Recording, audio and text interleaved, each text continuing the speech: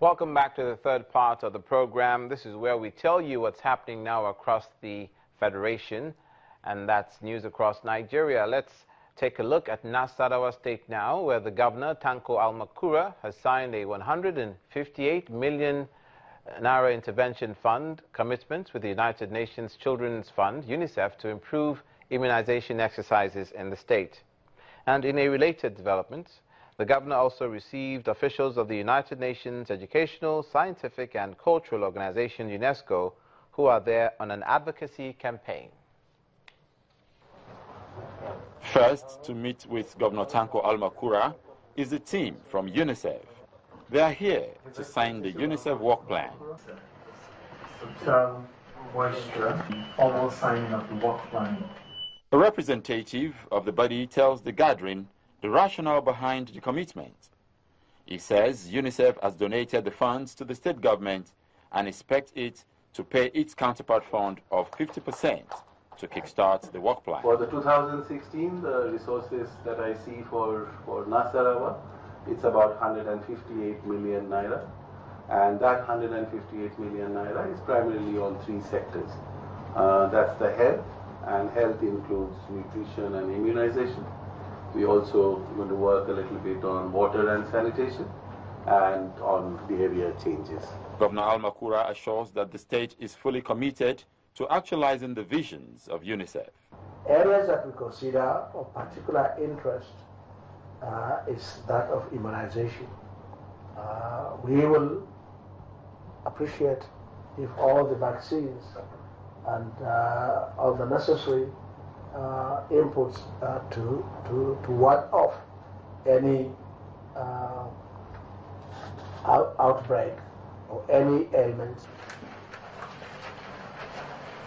The governor then goes into another meeting with officials of UNESCO who are seeking support for the sustainability of the State Agency for Adult and Non-Formal Education. We never play with the education of its own world, children. So we believe that as SUBEB is being given attention. State Agency for Mass Education is supposed to be even given greater attention. If parents are educated, I don't think they will play with the education of their own children. Here, the governor pledges to grant their request. I'm going to give my total support to your agency, not only at the state level, but when we come uh, for a meeting during uh, uh, Economic Council of Council of States to make a case mm-hmm. that mass literacy should be given this, this, this opportunity.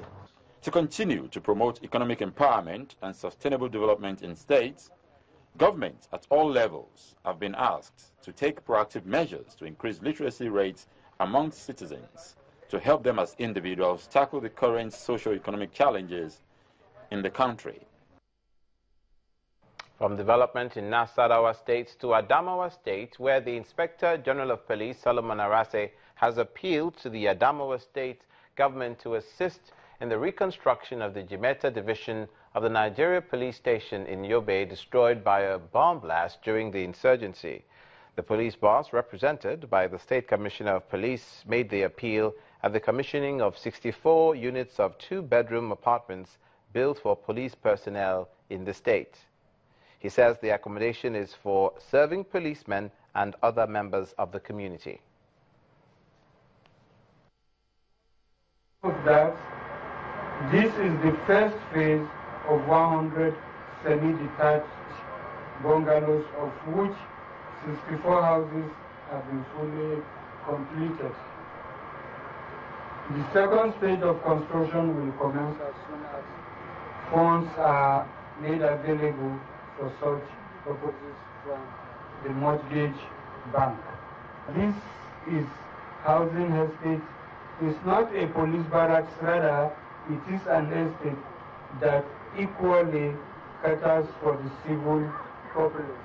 I wish to seize this opportunity to appeal to the state governor, I mean to the state government of Adamawa State for the reconstruction of and renovation of one-story building recently destroyed by the unfortunate bomb explosion in the exclusive, I mean, in the explosive ordnance dispos uh, disposal, which is EOD, stored in Jimeta. And now we'll turn our attention to Kogi State now, where the governor, Yahaya Bello, has issued a warning to contractors to perform their obligations or be disengaged. The governor said his administration will probe the contracts awarded by the past government with the aim of recovering public funds spent on such projects. He was speaking at a meeting with some contractors handling some projects. Contractors handling projects in Kogi State all seated in the glass hall of the government house in Lokoja. The meeting is designed to unravel why contractors abandon projects at will. Reeling out the statistics of projects is the Commissioner for Works and Housing, Jimo Abdullahab. The first project on the list is Idio Road, Aide Ogale Road. The total kilometer of the road is 13 kilometers. It's being handled by Kifi, Kifai Global Services. The contract was awarded September 2010, Your Excellency, sir. The total contract sum here is 464 million naira. Amount paid so far is 325 million naira, sir. Work done to date is 27%. It left the contractor, amount with the contractor is 200 million naira, Your Excellency, sir. One after the other, the contractors stand to give reasons for the abandonment and some of the challenges they have been through. Of the 12.8 kilometers road that uh, was awarded, we have completed the concrete works.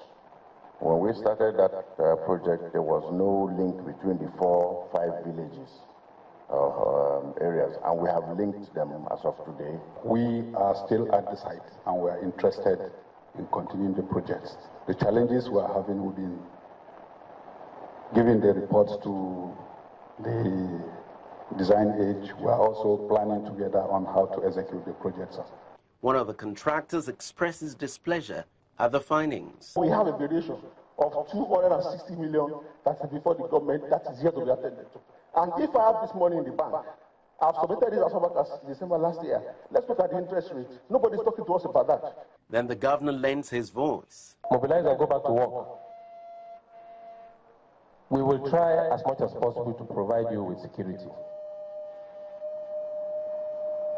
We are doing a lot on securing the state. But don't hide under that, that uh, guys and then leave the project. It's two years on now. The overall goal is to activate the abandoned projects around the state and also help bring accountability in its delivery. And now we turn our attention to the education sector in the southwest. The non-academic staff of the Obafemi Awolowo University, Ile-Ife in Osun State, have rejected the selection of Professor Ayobami, Ayobami Salami as the new vice chancellor of the institution. There had been several protests by the union comprising SSANU and NASU members against the outgoing vice chancellor, Professor Bamitale Omole, who they accuse of imposition and financial impropriety, and the announcement of the former deputy vice chancellor, Professor Salami, as his successor has fueled the agitation of the workers. Were still in court, the the our own lawyer, the lawyer for the for Sanu and Nasu, challenged the illegality on the part of the administration of this university and the governing council in holding the interview that was stopped by the court of law. That is Federal High Court Osogbo. They've announced Professor Ayobami Salami as the new VC. We want to tell Nigerians that it was illegal because that's the, that's the, and I'm canvassing the position of the court of law. Because if you want to serious about fighting against corruption, moment a whistle is blown by any Nigerian, there's need for anti-graft agencies to come and inspect. They can do preliminary investigation before they go into the primary aspect of it. And that brings this edition of News Across Nigeria to a conclusion. Thank you so much for watching. I'm Olumide McCauley.